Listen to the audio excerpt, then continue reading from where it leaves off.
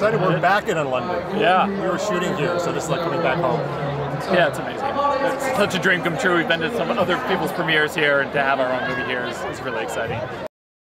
I, th- I, think it's one of those messages that's always, you know, relevant. It, it's sort of, you know, you are enough. Is sort of the message of the movie, you know. And I think we look at sort of social media right now and all these other things that are happening, and people struggle to feel good about themselves. It's a movie that essentially says, "You are enough. Just feel you know feel good and know that know that that is the case. So I think between that and the opportunities to update Jasmine and really empower her as a female lead, I felt like there were a lot of exciting reasons to, to do this right now. It's just a great classic love story. Two people from two different sides of the track and, and they fall in love and it's a really sweeping romance.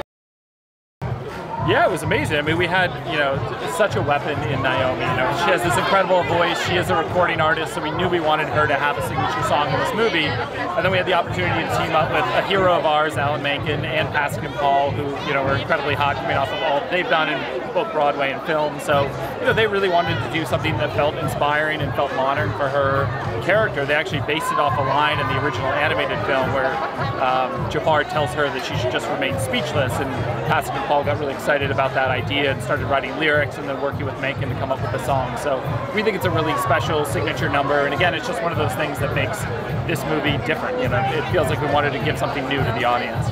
So for this movie, we bring back the original classics with a slight modern twist. We love what Will Smith has done with the music, but then to have a new song that's so powerful, every time you watch it, the hair on our arm just raises up. So it's a really powerful, emotional song. I mean, it's a dream come true for me. It's my favorite animated movie as a child, so to have an opportunity to work on it was just a dream come true. You know, I knew the word to every single song, you know, since I was a kid, and when we started working on the project again, it was sort of like I hadn't forgotten any of these lyrics. You know, so when you're there and you have, you know, you're shooting these musical numbers for five days in a row, and we're all hearing the songs a thousand times, and you don't get tired of it, you know, it's something special, and you have this chance to work with a real classic and sort of put your own spin on it. So it really was such a dream come true for us. There's a chance to work with a major movie star, Will Smith, and at the same time discover new voices, both musically and also acting-wise. So to see Naomi, uh, to see Marwan, uh, to see Mena as well. It's really exciting. We, we searched literally all over the globe to find this cast.